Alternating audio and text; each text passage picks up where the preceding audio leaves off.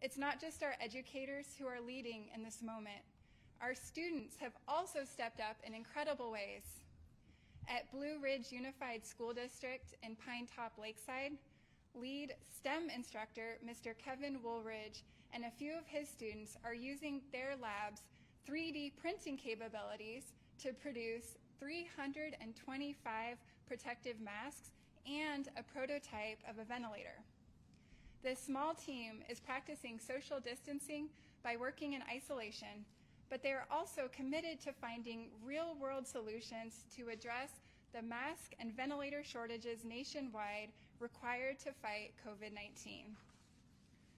Stories like this give me endless hope and remind me that with the talents and commitments of every student, teacher, and community member, we will get through this together.